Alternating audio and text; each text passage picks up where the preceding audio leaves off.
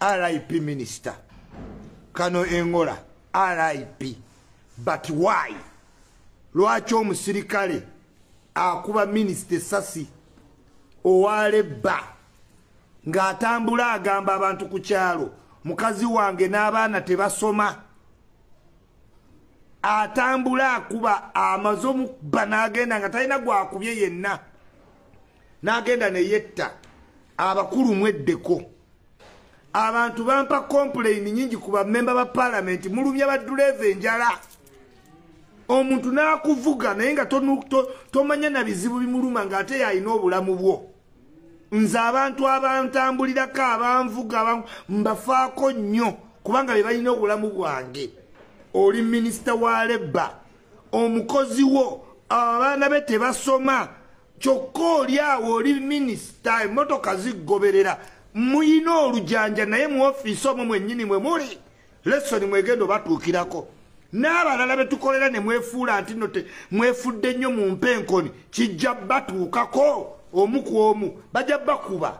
Muyina empisa embi neyeeraba mu mpenkoni n'omukolera n'alyoka akubuuzabuuza ebibuuzo kusasulayo obusasuzi obusente. Bo nga balya sente balya buli lunaku esente ne sente ne mulowooza nti abantu tebalaba abantu bajja batuusako obulabe minisita engolo olabye ba bamukube amasasi Hey viewer, welcome on this channel and for now we've got sudden news about the president of Uganda's bloggers Isma Olexas aka Jaja Ichuli whose real name is Ibrahim Tsubila who has been shot dead while entering his gate in Chanja.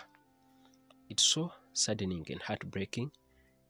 Jaja Ichuli has been a famous guy has been one of the most popular Uganda's bloggers, and it's saddening that he has been shot dead.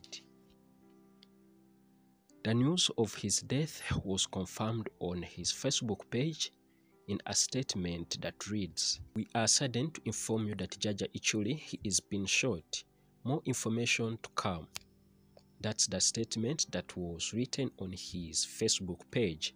Right now, we don't know who shot Jaja Ichuli and we don't know what caused this incident. We're gonna give you all the latest updates.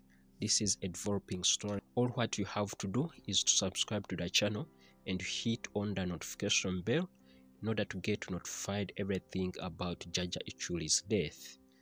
May his soul rest in eternal peace and let's pray for his family and friends because we know right now. They are feeling so saddened